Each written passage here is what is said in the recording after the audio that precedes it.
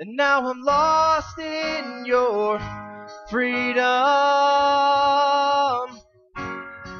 In this world I've overcome.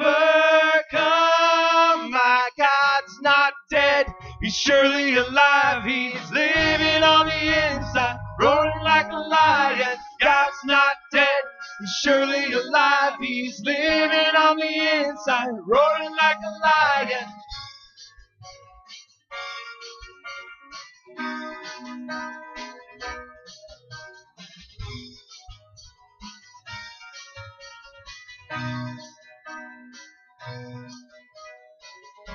Holy Spirit, we come to you this morning and we believe that you are not dead. And we shout out and we sing out your name because we know that you that you are alive, you are well with us.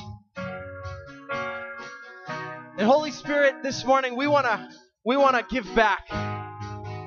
We want to give back just a little bit. So I'm going to call up the ushers.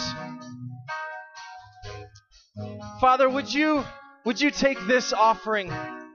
Would you take this offering that we give as a pleasing aroma, a, a beautiful sacrifice? Holy Spirit, we say thank you. We say thank you for not leaving us. We say thank you that you are with us all the time. And we say thank you for that hope.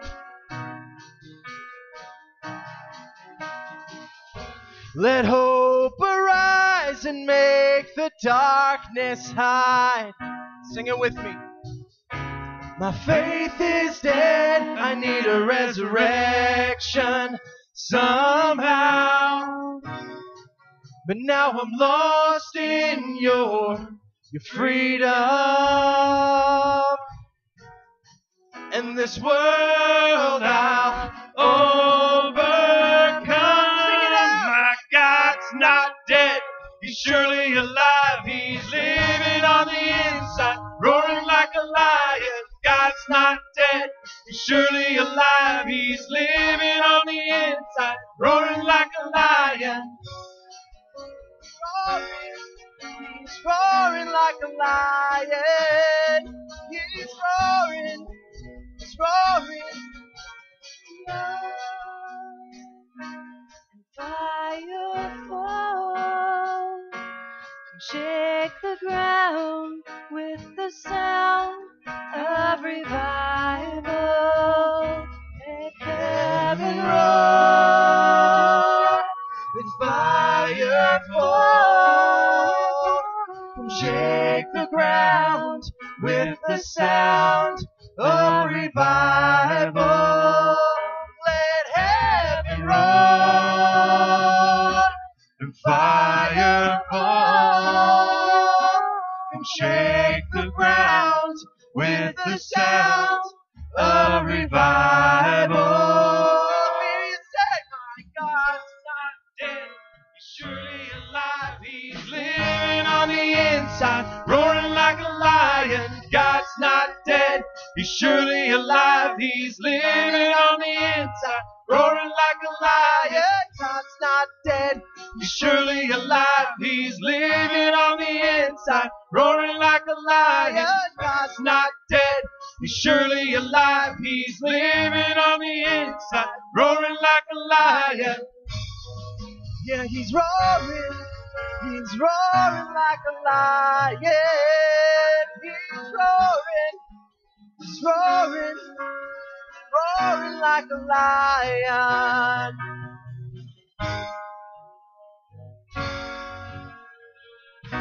Can I get an amen? Woo!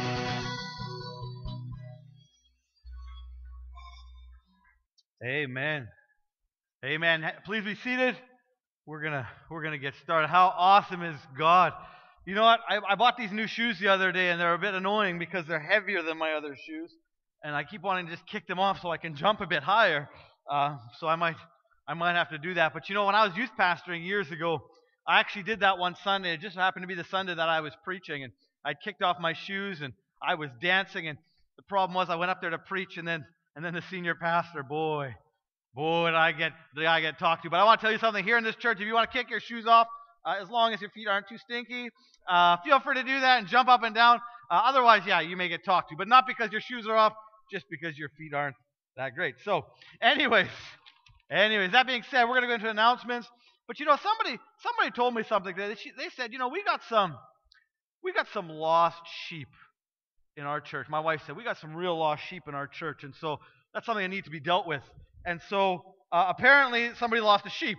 Um, so so if your child lost a dear little sheep last Sunday, um, we're here to rescue lost sheep and return those lost sheep to where they're supposed to be. So if your child lost their sheep, uh, come and find me, and we will give them back their lost sheep.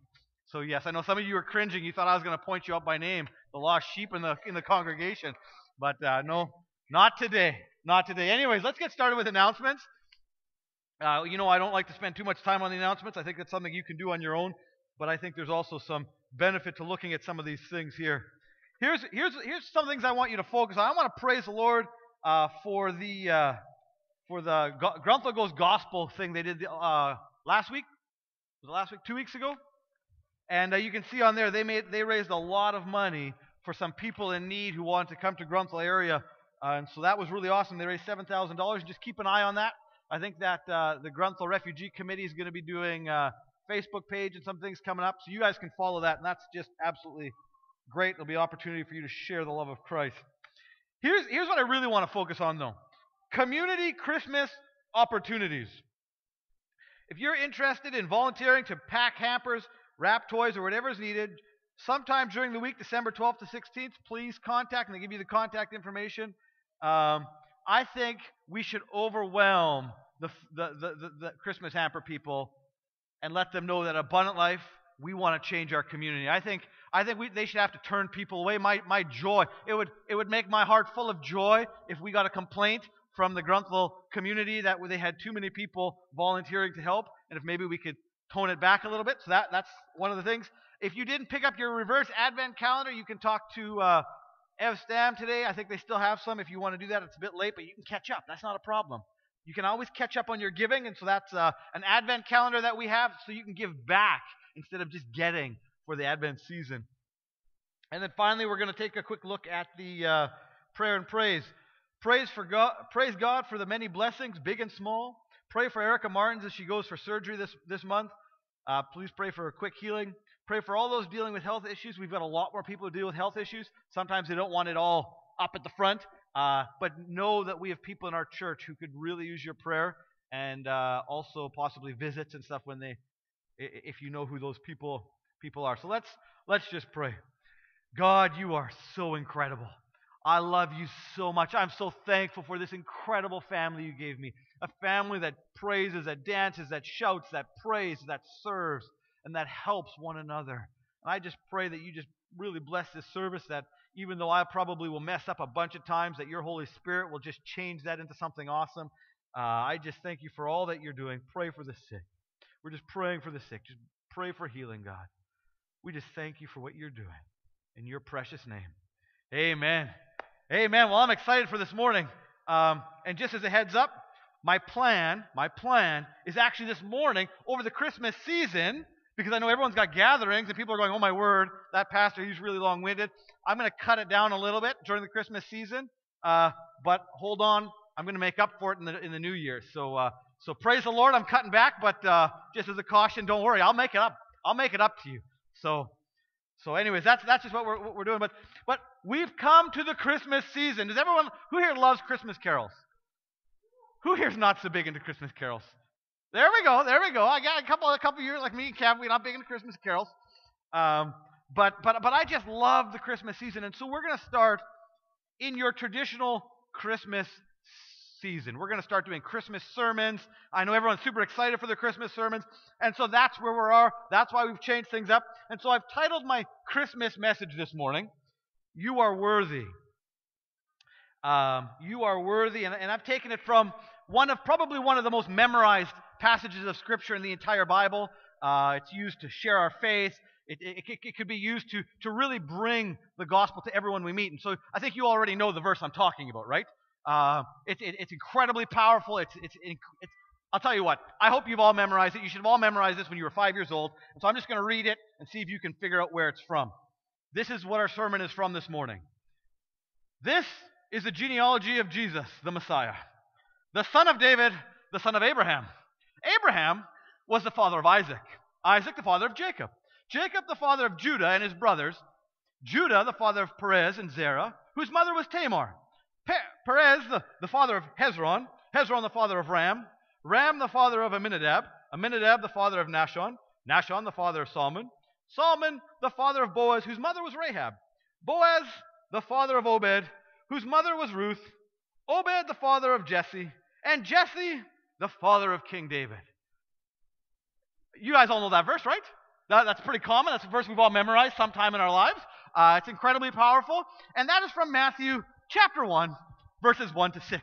And that, my friends, is what we're talking about this morning. The genealogy, and that's only half of it, of course, the genealogy of Jesus. Um, it's got to be important. For some reason, the very first words of the entire New Testament was that. I, I actually made a chart for you. You can see the chart Adam to Noah, Noah to Abraham, Abraham to King David. And then King David, you see how it splits there? They've actually followed King David's family tree that on one side it leads to Joseph and on the other side it leads to Mary. And I think that's so incredible. I think, man, that is awesome. And I truly and genuinely believe that those six verses we read this morning should be enough to lead people to Christ. I believe that there's incredible power in every part of the Word of God. The difference is you got to know how to use it, okay? You got to know why it's there. You got to know the importance. And so this morning, we're not just talking about genealogy, don't worry. I know some of you are already packing your purses back up and folding up your notes. And no, no, don't worry. We're going to talk about it a little bit more. But why is the genealogy in the Bible important? Why is it even there? Remember, we've been doing back to the basics. This is important. Number one, it shows us God is always faithful to his promises. He promised Abraham that his descendants would bless the nations, and we see that the family tree includes Abraham. And he told David he, w- he would have an heir who would make a kingdom that would last forever. And once again, as we looked at that family tree, David's in there. You see, the genealogy does many things. Number, number one, it proves the truth of Scripture. How in the world? This would be the biggest con on the face of the planet. That, that, that because every single Jew knew, because they, they all kept track of the lineage of King David. Everybody knew if they were in that lineage or not. This was very, very, very important to the Jews. Because remember, they were all from the line of Abraham, and, and their lineage was incredibly important. Most Jews would know exactly where they were from. They would know their lineage. So this was this was important, and this is not something that could be used to con people. Because it was public knowledge. Everybody knew. And so thousands of years where there were thousands of people who knew this family lineage, there would have had to be a conspiracy that lasted thousands of years tens and hundreds of thousands of people all to convince us that Jesus was the Son of God. I think that's pretty bizarre and pretty ridiculous. And so it's incredibly important to recognize this is something that was common to the Jews. They followed it. Where were they going? They were going to do a census. They were on their way to do a census when Jesus was born. A census tracking their lineage. Everything was tracked based on your lineage. That's why they were going to Bethlehem the land of King David. There's an incredible, incredible truth when we look at the lineage, and that's not even really what we're talking about this morning. But I get excited about every part of the Bible, so you got to put up with it. So much for the short sermon. gotcha. It's not April Fool's, but boy, I, I got it. All right. Jesus was a fulfillment of that promise. Here's another reason that the genealogy is important it shows the people who God was willing to call family. I want you to think about something. I, I think we can all agree that God knows what's going to happen in the future.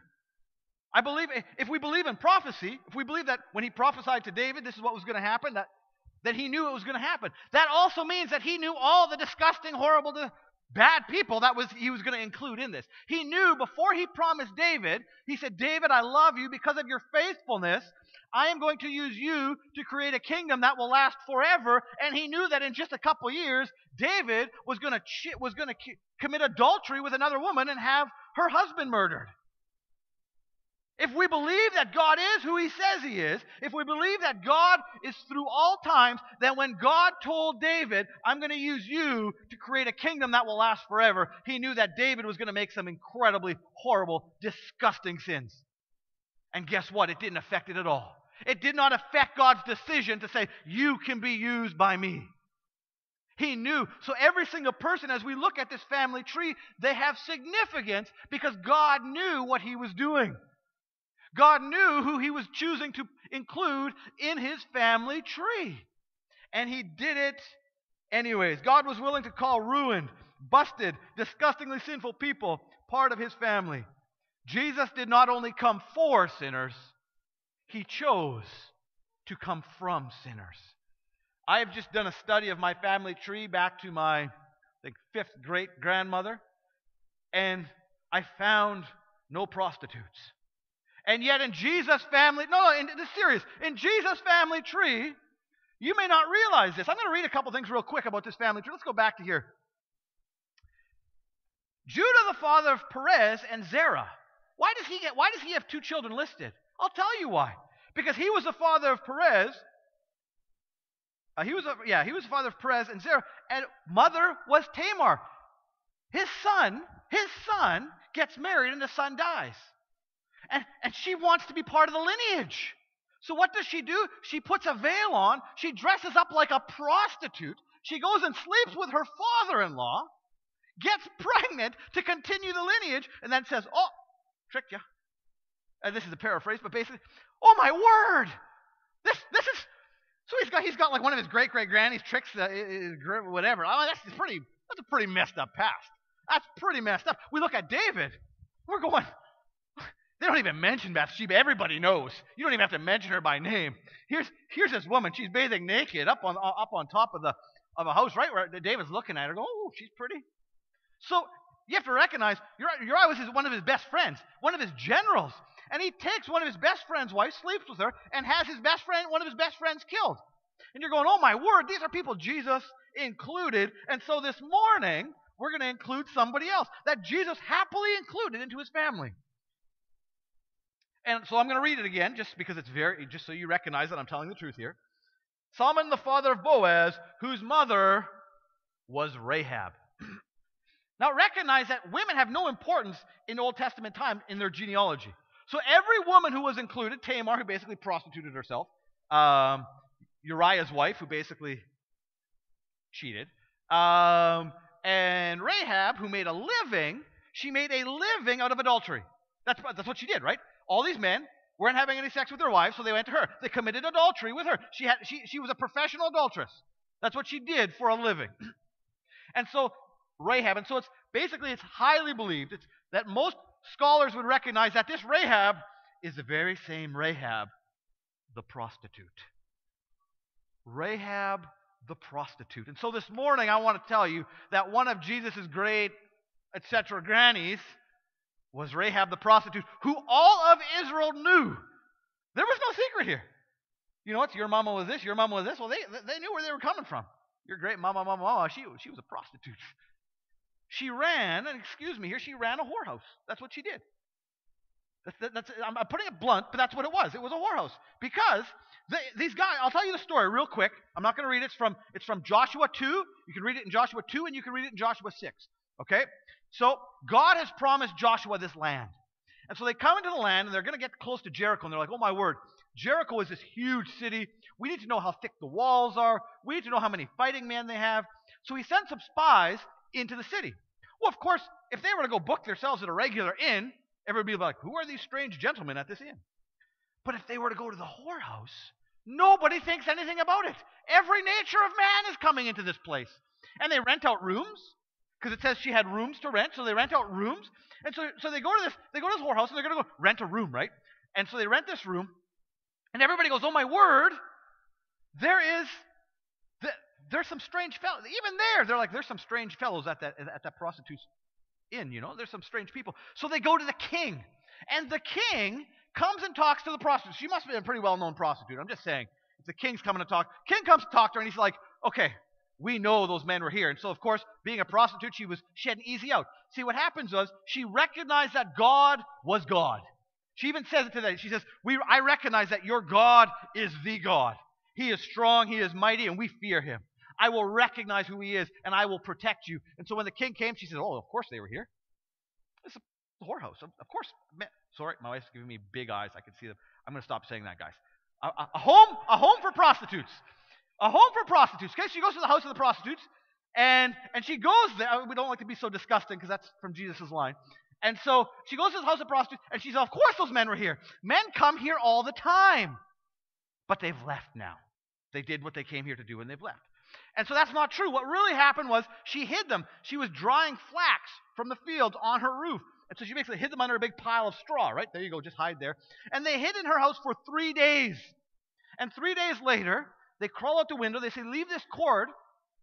Leave this cord hanging out the window. And when we come back, because of your faith that our God is the true God, we are going to see you saved. And so what happens is, if you remember the story of Jericho, the Israelites come and God tells Joshua, march around the city every day for seven days.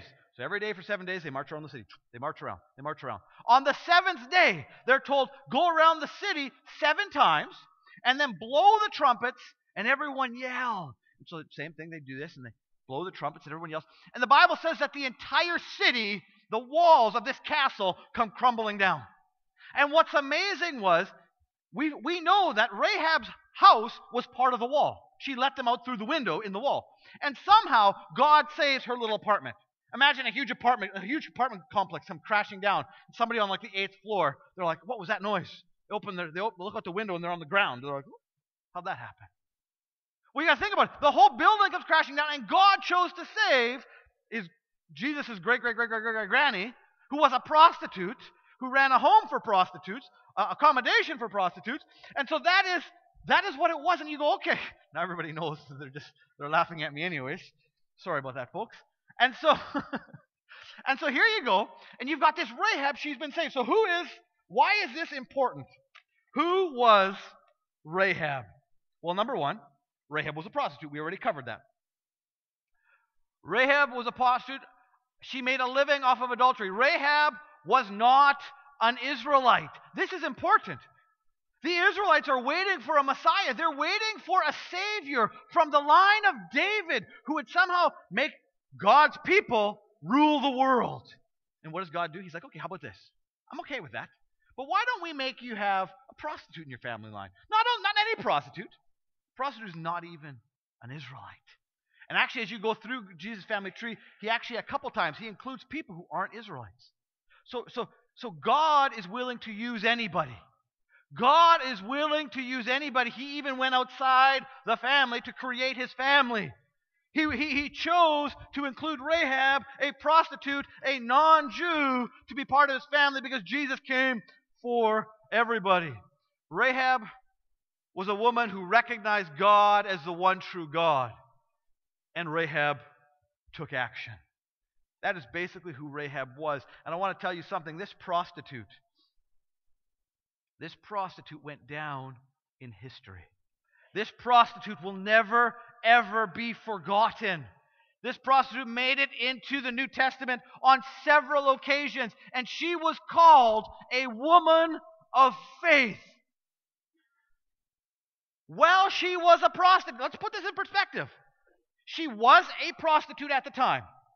She was currently a prostitute and during her time of prostitution, she was called a woman of faith because she recognized God is the true God and she took action. And so many of us in the world today, we have made mistakes and we are living bound to those mistakes. And we refuse to be men and women of faith because we say, How can I do it? I was like the prostitute. And in this very moment, in that moment that you look to God and you say, God, take my life, God redeems you, God makes you worthy through Jesus Christ the Son of God, and a prostitute, and a woman who cheated, and a man who killed his best friend. He accepts you into his family. His family's far worse than you will ever be. His great great grandfather was far worse than you could ever imagine being. So often we don't want to forgive others. So often we want judgment for others. So often we judge ourselves. And God chose Rahab to be the hero of his people. Hebrews 11 Verses 31 says, By faith, the prostitute Rahab, because she welcomed the spies, was not killed with those who were disobedient. Because of her faith, because she was a woman of faith. Rahab was called a woman of good works. That's right. I know I had some pretty strong language for her house. And I did that on purpose because that's who God chose.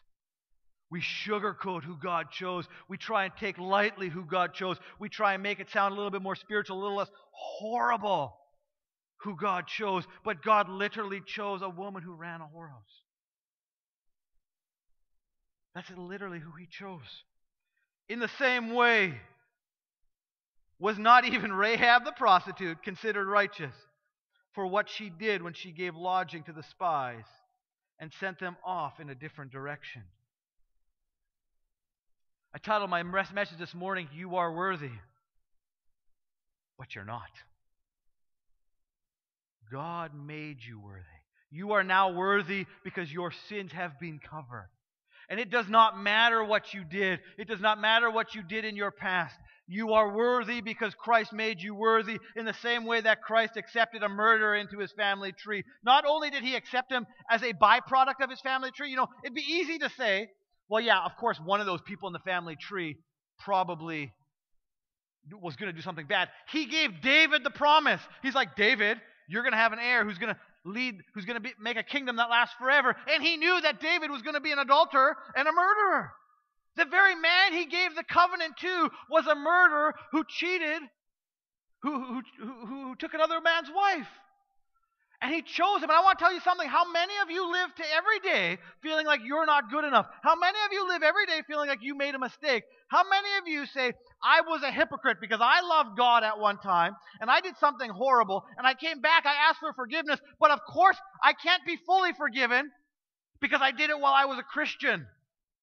You know what? It's so easy for people who, who came to Christ and changed right away and never committed another bad sin. It's easy for them because they're like, Praise the Lord, God set me free. And from, from that day forward, they run, they're passionate, they change the world. You know, you know where Satan gets us? Satan gets us when he finds somebody who followed God and made an epic failure. And he tells you, yeah, yeah, those other people, God will use them because they changed and they never made another mistake. But what about you? You chose God and you slapped him in the face because some sin that you did. And those, those people, they live their whole life in shame. They live their whole life feeling disgusted because they accepted the gift of eternal life and they slapped God in the face. But I want to tell you something God still forgives. God still uses you. God can still make you into something incredible. All you have to do is stand up with boldness and say, God, I accept what you gave me on the cross. God, I turn to you. God, I want a restored relationship with you because God always restores relationship. There's never a time in your life where He cannot make you new. And so often we feel like we are not fully made new again. And I, I, think it's horrible. I think it's so sad that we feel like we can never be fully made new. Yes, there may be consequences of your sins. There's always going to be a consequence. There, sometimes you'll have a consequence. It might prevent you from being in church leadership. It does not prevent you from saving lives. It does not prevent you from feeding the hungry. It does not prevent you from being a man or a woman of faith who changes the world. And sometimes there's incredible honor in recognizing I made a mistake. There's incredible freedom in being able to stand up and say, I struggled with this, but God has set me free. You know what? There's even, a, there's even sometimes a great freedom in saying, I struggle with this and I am looking to be set free. Because once again, it does not condemn you. Once again, it shows the position of your heart. It is the man who hides the sin inside of his heart and tries to deal with everything on his own. It is that man and that woman who will not be used. Because it is only when we can boldly say, I need Jesus, that we recognize there is no judgment when we say, I need Jesus. There is no judgment when we recognize that we are failures. There is no judgment when we recognize that we are sometimes being spiritual prostitutes right now. There's no judgment there because that's the whole point is the judgment is there only when you hide it. Because God says, You're trying to, what are you doing? You're trying to hide something from me that I clearly see. When we hide who we are, how can we be set free? I want you to imagine something. I want you to imagine that you're handcuffed behind your back. So you, are in handcuffs and you're visiting with people. Hey, how's it going? And they're talking to you. They go, but but you don't want let anybody to know. You don't want anybody to know that you're handcuffed. Okay? So like, hey, you want to come play volleyball? Yeah, I'm not feeling up to it today. Maybe another day. And you, obviously, you know why you're not playing volleyball because it's like trying to bump the ball that way is not going to work. You know what I'm saying? And you're like, this isn't working for me. And you're handcuffed. You know what? The only at that time when you say, hey guys, I'd love to come play, but uh, I'm a little bit tied up here. It's only then that they can be like, oh, I got bolt cutters on. I'm just cut these free. It is only when you recognize that you need help. It is only when you say, look, I am a spiritual prostitute. That God can set you free. God can use you even as you are struggling through things. God does not just use the people who are perfectly holy. God uses everybody. God used Rahab the prostitute. Not Rahab the former prostitute. He used Rahab the prostitute. He used David the murderer. Not only David the murderer, the David who he knew was going to murder. He knew David was going to get worse. He knew David was going to make bigger mistakes than he'd already made. And he said, David, I'm going to use you to change the world.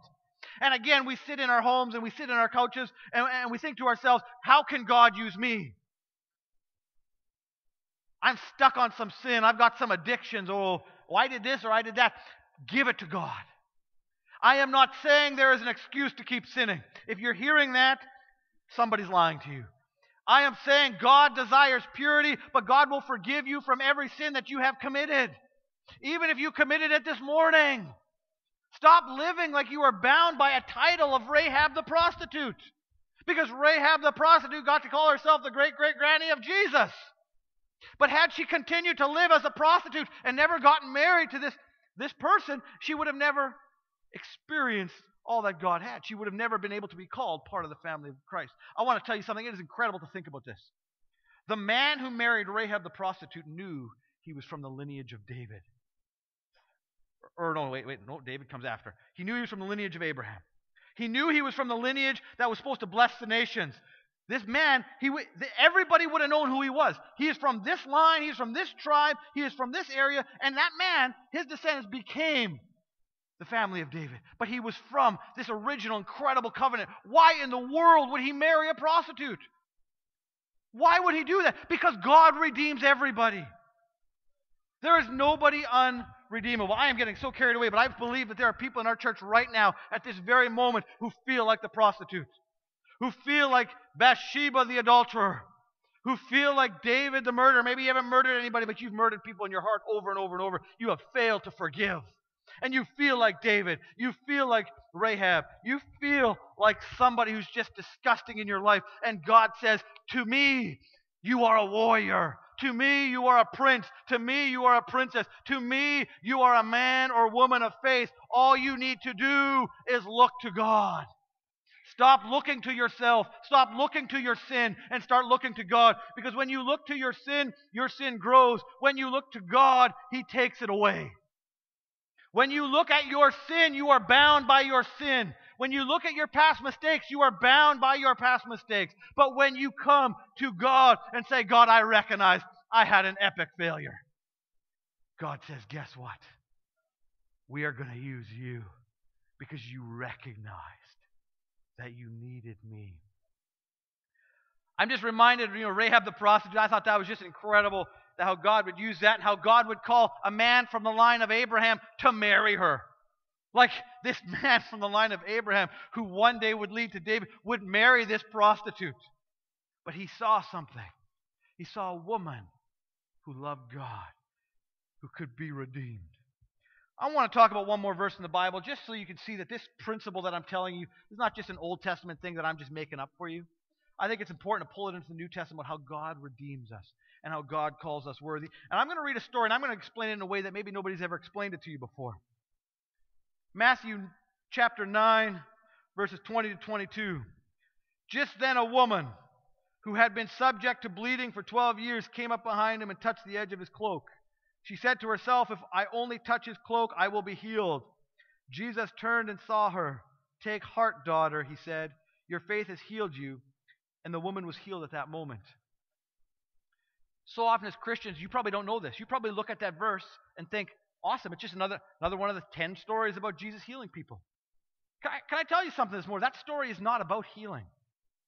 That story is not actually about healing. Did healing take place in the story? Yes. But if you keep your eyes on the healing, you're going to miss something. You're going to miss something incredibly important about this story. This story is a lot like the story of Rahab in that God redeems people. Okay, in Israelite law, in Old Testament law, when it was your time of the month, ladies, you were considered unclean. You were not sinful, you were just considered unclean because it was the world's biggest object lesson. And if you touched anybody while you were unclean, the point was that your uncleanliness transferred to them and they were also unclean. So, so if you touched your husband, now he was unclean. Now he had to go through a ritual purification of being made clean. So you were really, in those, in those couple days, you couldn't even touch anybody. This is important to the story. So now you have a woman who has been bleeding for 12 years. For 12 years, she has been called unclean. For 12 years, she has lived with the knowledge that if she even so much as touched somebody, they were called unclean, unworthy. They were unclean, unable to come to the presence of God. They were cast out. They were on the outside. The lepers lived on the outside. Those women, they had to leave, go away from their husband. They were unclean. And so here's a woman who has been considered unclean, sinful even, for 12 years. You probably didn't realize that. For 12 years, she has not been able to have an intimate relationship. She's not been able to hug somebody. She's been unclean. And now she comes to Jesus and she makes him unclean. But she doesn't in touching him. By the very law of the Old Testament, he should have been considered unclean. But when we are unclean and we come to Jesus, the reverse happens.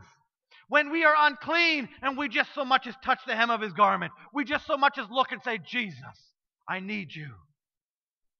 His purity, His perfection, His worthiness is transfer, transferred into us, and we are made pure, we are made clean, we are made worthy so much as by looking at him. Rahab was considered righteous just because she looked and recognized who God was, and she took action.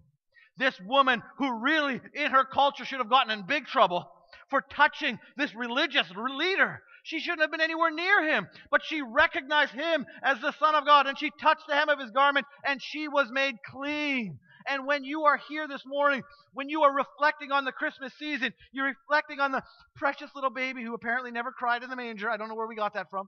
And, and we're reflecting on that. I want you to reflect on something else.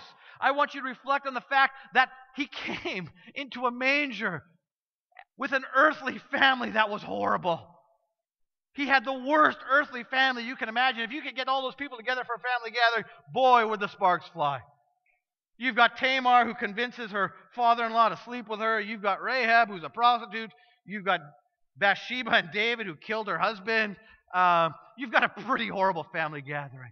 And so when you see that baby in the manger, you drive and you see the nativity scene. Do not just see a precious story. I want you to see somebody who all you have to do is turn to God and he can set you free. You turn to God and He forgives you for your past mistakes. You turn to God and He says, I know you're going to fail again, but I am there for you and I will still be willing to use you. I am still willing to make a promise with you, knowing what you're going to do in five years from now. Just like with David, he said, I'm going to make a promise with you, even though I know what you're going to do. Because I am not limited by you. I work despite of you. I always say that the Holy Spirit either works through me or despite of me. More often than not, He's working despite of me. And I'm okay with that. I praise the Lord that in my failures, God is big. And so this morning, we're going to, I'm, I'm done 15 minutes earlier than I normally am. Maybe 20 minutes earlier. So I'm going to invite the worship team to come to the front. You guys can't even go get your kids yet. They're in there till 12:15. You are stuck praying today. And so we're going to invite the worship team to the front. Huh? 11:15, sorry says 12. So 11:15.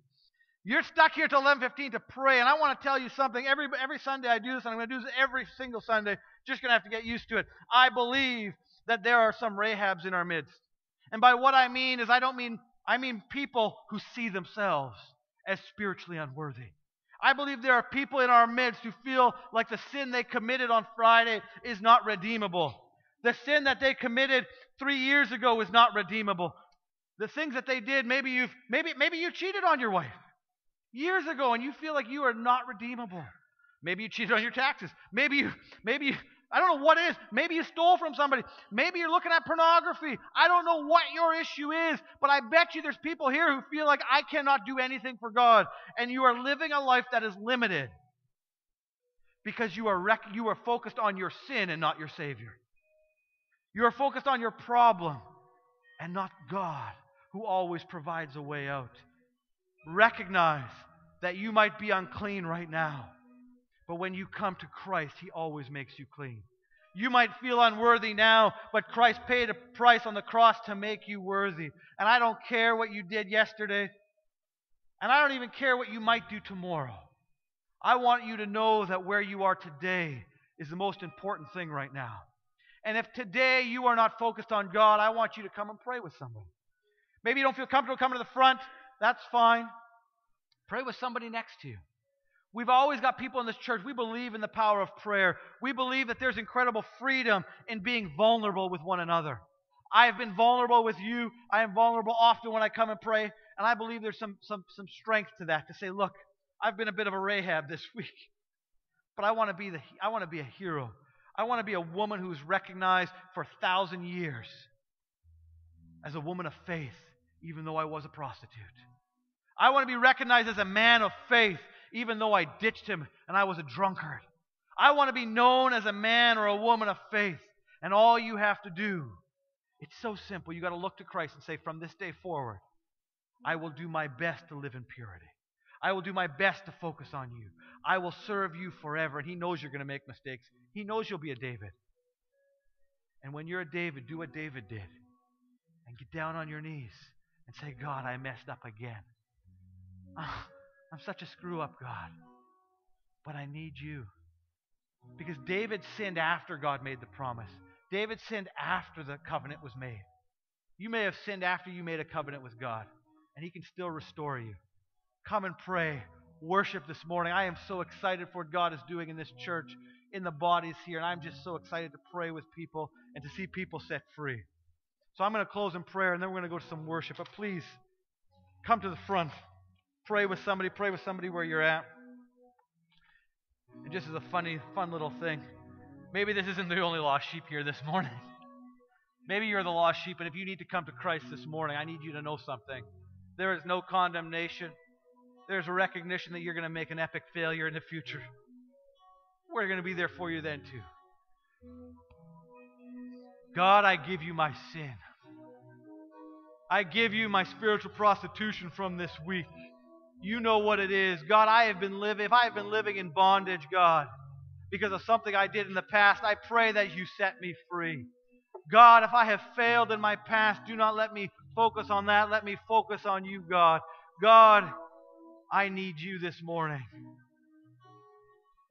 If you're not a Christian this morning, you just pray to yourself and come pray with one of us. But you need to say, God, I recognize that I am a sinner. I recognize that I am not worthy but through you, and so I accept you, God. I want to be adopted into your family today. I want to be a believer. I want to be a man or a woman who's just like David and Rahab, who's epically flawed, and yet a hero for you, God. Thank you for what you did on the cross. Thank you this Christmas season. That when we look to you and your, your epic family tree, that we know you can use me your precious name. Amen. Amen. Let's go into a time of worship.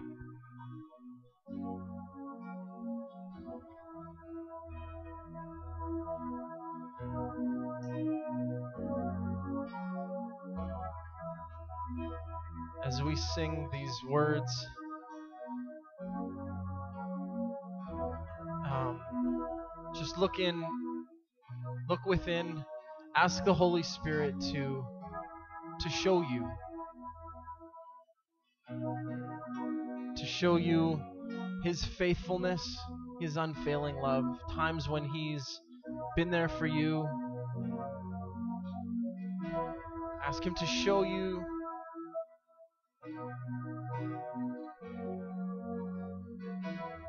some really hard stuff, maybe. Do a do a spiritual heart exam this morning with the Holy Spirit. So, Holy Spirit, we just ask that you show us, reveal to us the areas of our lives that we are not surrendering to you. Reveal to us the areas of our lives that that you want that we are holding on to. Or areas of our lives that we've put walls up. Holy Spirit, show us and help us to take the walls down.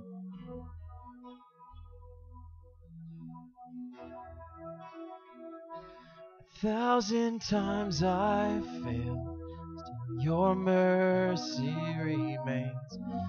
Should I stumble again, I'm caught in your grace everlasting.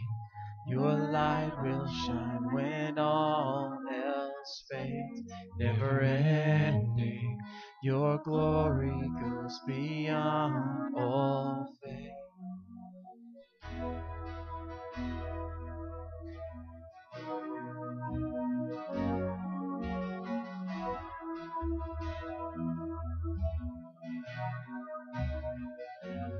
Will above all else, my purpose remains. The art of losing myself in bringing you praise everlasting.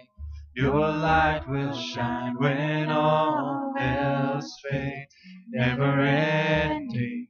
Your glory goes beyond all faith. Yeah, my heart and my soul, I give you control. Consume me from the inside out, Lord. Let justice and praise become my embrace.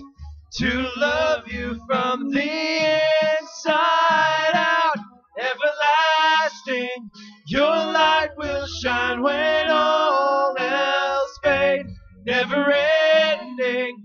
Your glory goes beyond all faith, and the cry of my heart is to bring you praise from the inside out, Lord. My soul cries out.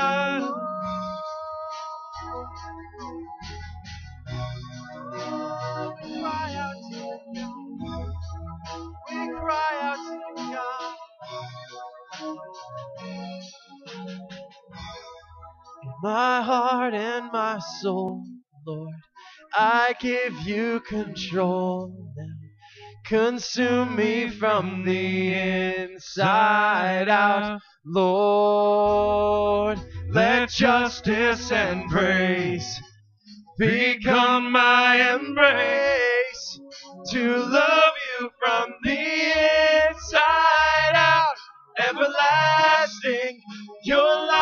shine when all else fades, never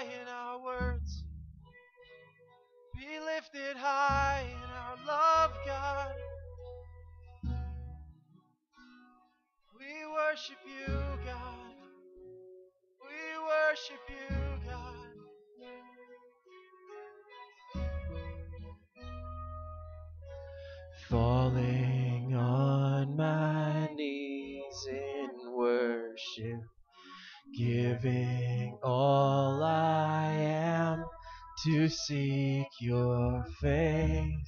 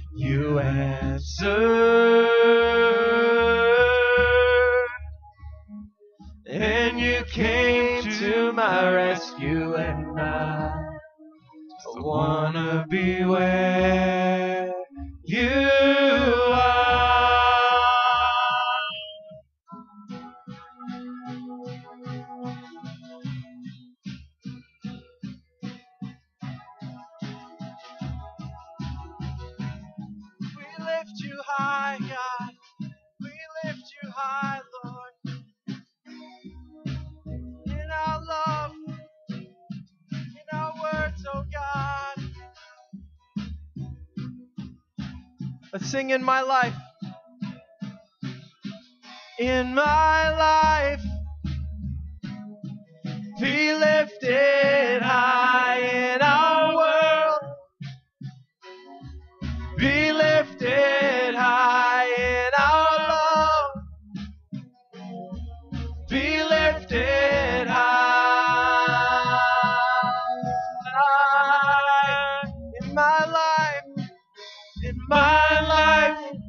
every moment of every day. Be lifted high in our world of more than just Christmas. Be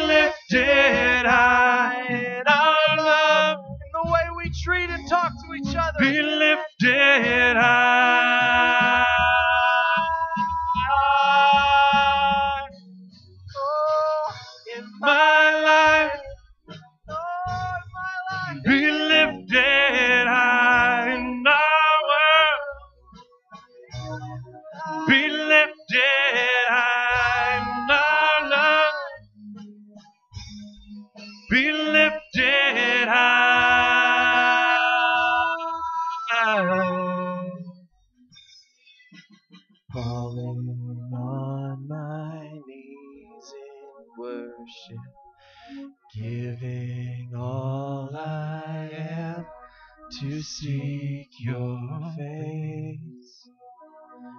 Lord, all I am is yours.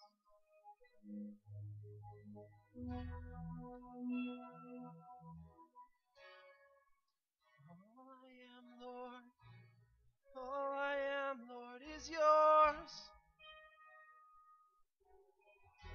Captivate our hearts, oh God.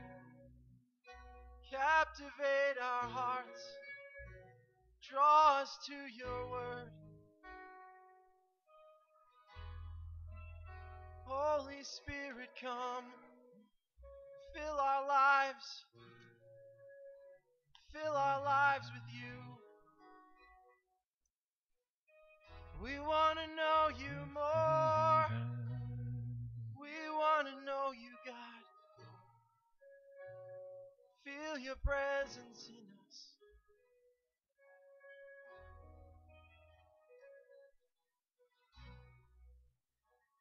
This morning, just in your spirit, as we play, we're just going to play this this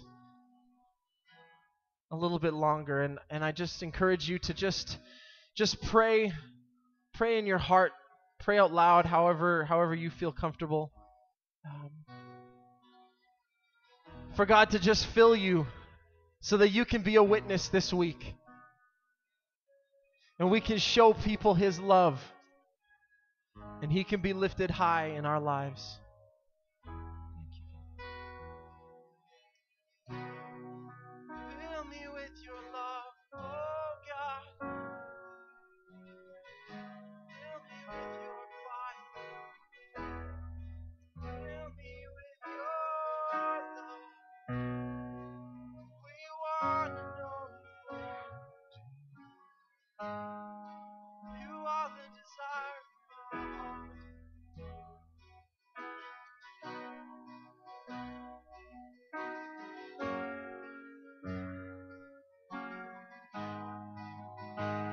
Sing this song with me.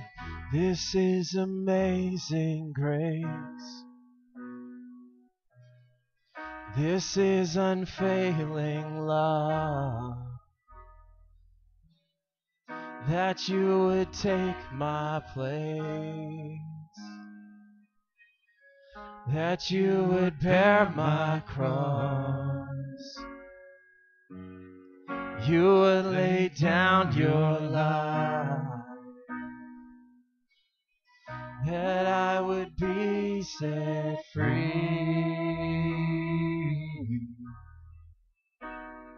Whoa, Jesus, I sing for all that you've done for me.